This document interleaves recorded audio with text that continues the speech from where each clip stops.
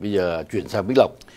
Vâng, à, thì à, theo những cái lời tiên đoán của Parker người đó. à, ông Parker như vậy Ừ. thưa quý vị thì à, một trong những cái điều chúng tôi à, cũng à, được nghe đây là một cái tổ chức à, rất là lớn của thế giới The World Economic Forum thì họ cũng đã tiên đoán rằng cái đồng tiền yuan của cộng sản tàu thì à, trong một thời gian sắp tới nó sẽ thay thế cái đồng đô la của Hoa Kỳ vì cái ảnh hưởng kinh tế, chính trị và kể cả quân sự của um, Cộng sản Trung Cộng hiện nay đã bao trùm trên thế giới thưa quý vị. Và dưới cái sự lãnh đạo của Tổng thống Joe Biden thì uh, ảnh hưởng của um, chính phủ Hoa Kỳ ngày càng um, bị uh, đi xuống chứ không có mạnh hơn như xưa thời Tổng thống uh, Donald Trump lãnh đạo. Bên cạnh đó thì thưa quý vị, World Economic Forum thì họ cũng đã từng cảnh cáo một năm đúng một năm trước cái cơn đại dịch virus corona nó bùng phát thì uh, um, chính những người lãnh đạo của World Economic Forum uh, tổ chức uh, Bill Gates and uh, Melinda Gates và và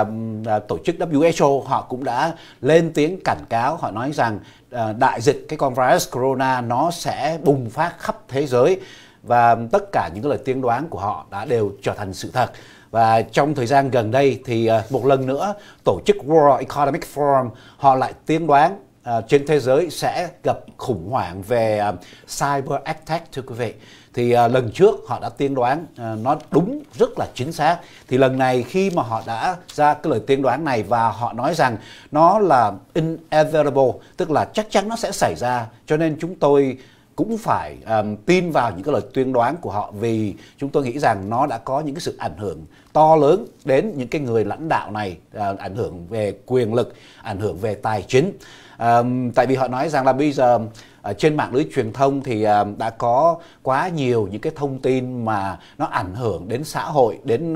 kinh tế của toàn thế giới cho nên họ cần phải có một cái sự kiểm soát. Và làm sao mà kiểm soát được? Tức là họ tắt luôn cái hệ thống điện để mà reboot lại luôn cái hệ thống internet thưa quý vị. Thì à, thử tưởng tượng nếu mà chính phủ tắt đi nguyên cái hệ thống điện của một quốc gia như nước Mỹ đi thì à, người dân của chúng ta lúc đó sẽ phải đương đầu với cái cuộc sống ra sao khi mà chúng ta không có điện nữa. Thì à, thưa quý vị đây là những cái điều mà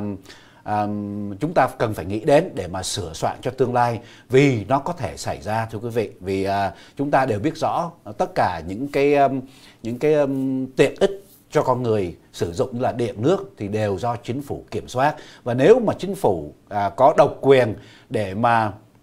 để mà hành động thì à, không cần đến cái sự đồng ý của người dân thì cái chuyện này nó rất là nguy hiểm cho tất cả người dân của chúng ta thưa quý vị.